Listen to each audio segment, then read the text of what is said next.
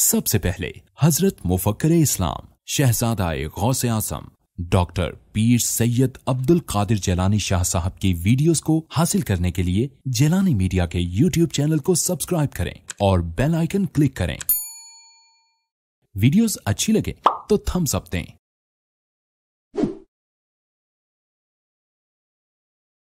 इस बारे में गुफ्तु मदीना तैयबा यूनिवर्सिटी में हुई। हज़रत जनाब अबू तालिब जो हैं इनका एक बुनियादी मौजू रहा है कि हज़रत आसान में साबित रदी ने मदनी ज़िंदगी में ये खिदमत अंजाम दी है कि जब किसी ने सरकार की मजम्मत में शार लिखे हैं तो ये जवाब में उसका जवाब कहते रहे मक्की ज़िंदगी पूरी में सीरत इबन शाम ने लिखा ये बात कि जिस वक्त सरकार की मजम्मत के किसी ने शार किया उसका जवाब जनाबी मुतालिब देते रहे और उसके अंदर रहमत कहा है रसूल रबालमीन कहा है आपके शार में मौजूद है।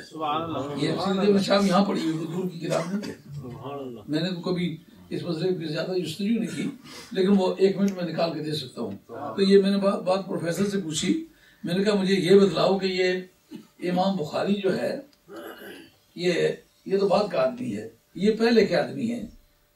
तो इन्होंने जिस वक्त की ये अशार जवाबी कार्रवाई तमाम वो मजम्मत नबूत की करते रहे अब ज़ाहिर है कि जब तक कोई नबूत की ताईद ना करे मजम्मत करने वाले की मजम्मत नहीं होती। तो फिर मुझे ये बता कि अगर ये नबूत की हमायत में यशार कहते रहे ईमान में क्या बहस रह गई?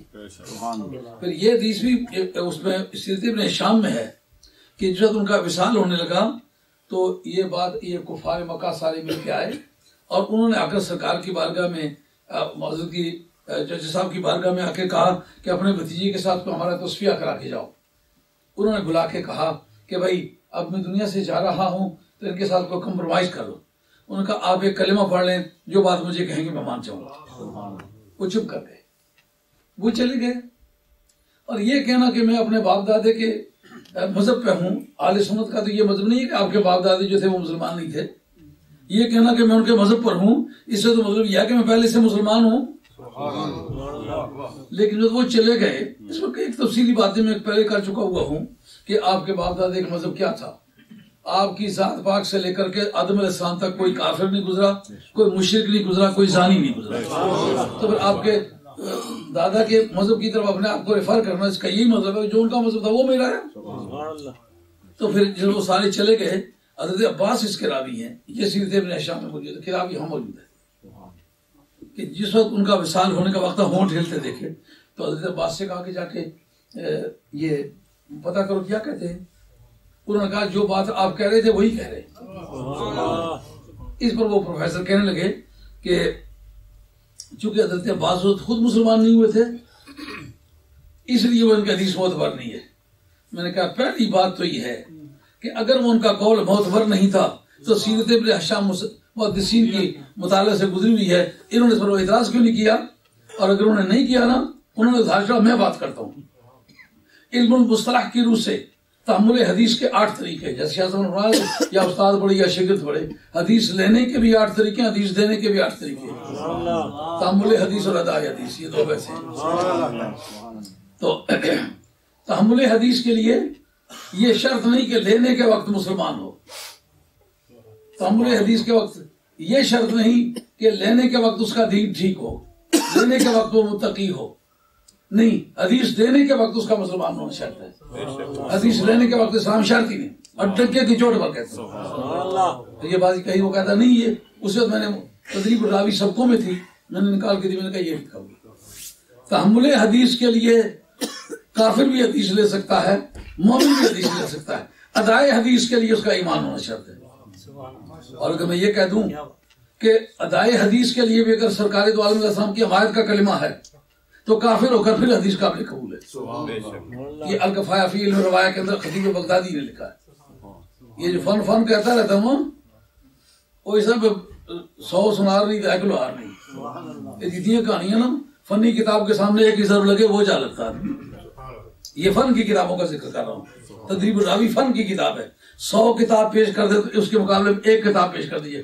फिर तामुल हदीस के वक्त, हदीस लेने के वक्त इस्लाम शर्त ही नहीं है। हदीस देने के वक्त इस्लाम शर्त है। और उसके लिए भी ये है कि अगर वो इम्पार्शल हो, अगर सरकार की हमायत की हो तो इस हदीस का रावी कौन है कि सरकार साहब का जब नाम लिया गया तो बुत जो है वो ज़मीन धड़ाम धड़ाम गिरे। इमाम राज़ी ने ये हदीसें लिखी। हाँ? इमाम कस्तलानी की चोटी का मुहदस इमाम कस्तलानी मामूली आदमी को सूफी नहीं है वो। हाँ न किसी खानका का कोई ऐसा ही पीर बना हुआ है, वो आलिम आदमी है।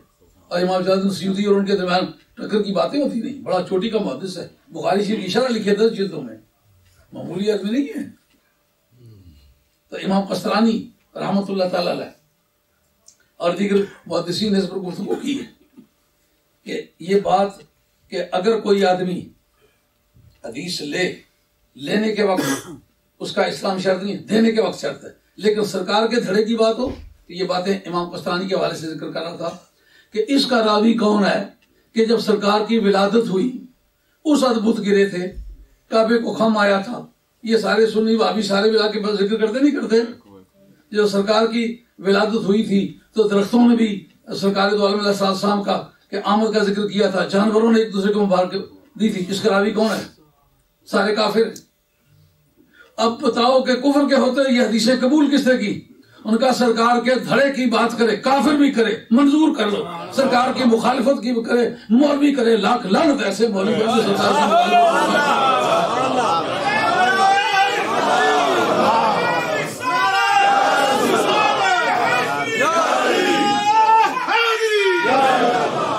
आप कहेंगे ये आप अपने जज्बात से कहते मैं अगर बुखारी पे वाला ही वो ये कर तो फिर क्या करोगे?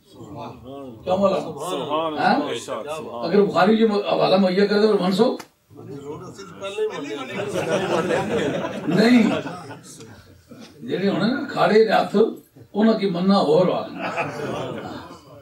अगर बुखारी में से निकाल दूँ रवायत काफिर की है लेने वाला भी काफिर है और हदीस जो है वो इमाम बुखारी ने दर्ज किया तो फिर क्या करेंगे?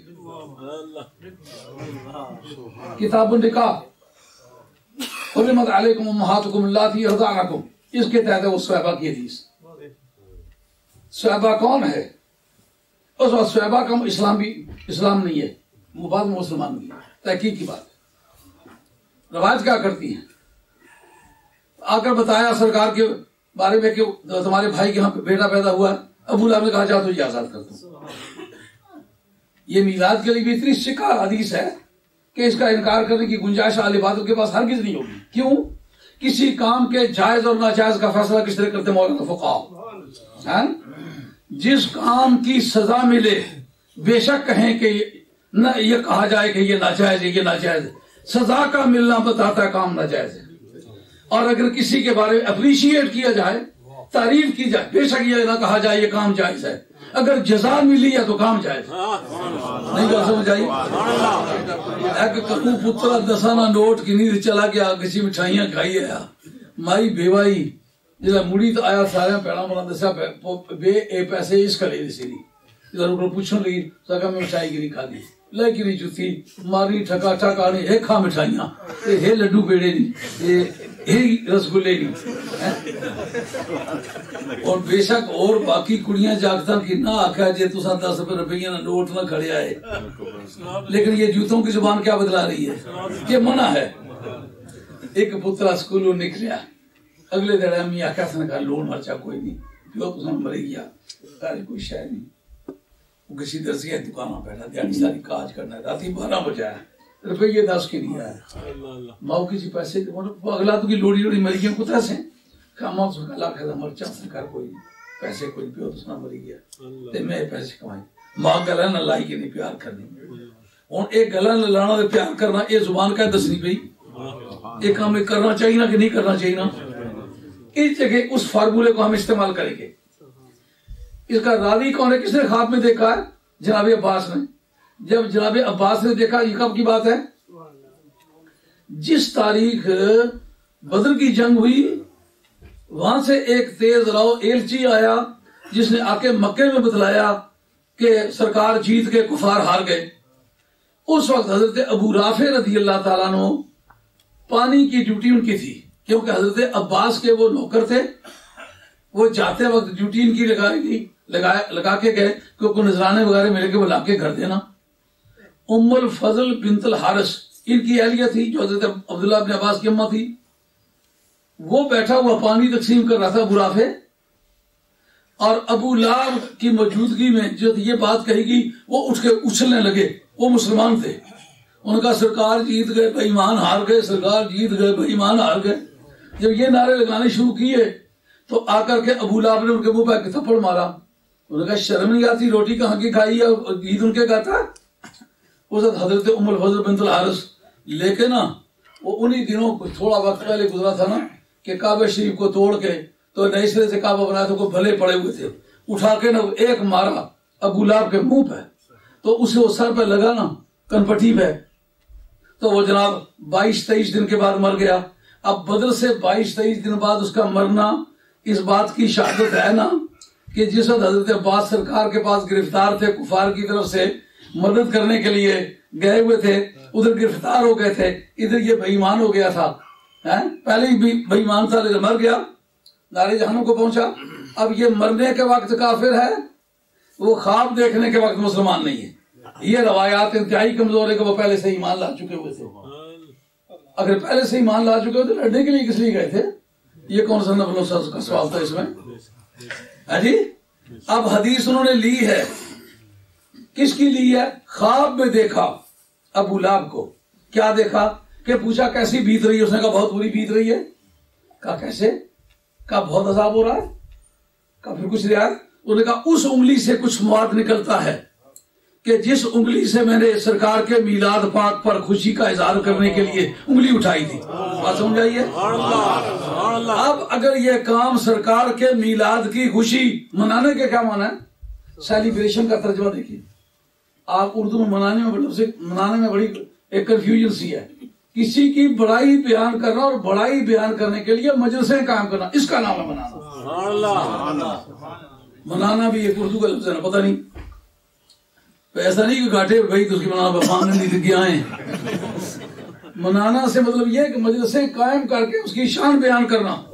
यही करते ना? अब उसने जितनी उसकी तोफीक थी उसने खुशी का इजहार किया। उसके बदले में उसको कब्र में रियायत मिल रही है। अब जनाब किसी काम की जगह मिलना ये दलील है काम के सही होने की मालूम अभी इलाज शरीफ करीब आ रहा है। ये उसके जवाब की दलील है मगर हदीस के तौर पर हम इमाम बुखारी से पूछते हैं जिसने हदीस ली या ख्वाब देखा है वो भी मुसलमान नहीं। और जिसने ख्वाब में बतलाया है वो भी मुसलमान। न रावी मुसलमान है न मरवियानो मुसलमान है। फिर इमाम बुखारी से पूछो जनाब इतने कमज़ोर किस्म के दावी हैं दर्ज क्यों की है? इमाम बुखारी कहता मतलब मेरा भी यही है। सरकार के धड़े की बात करे खा खाब में करे काफिर करे फिर भी काबिल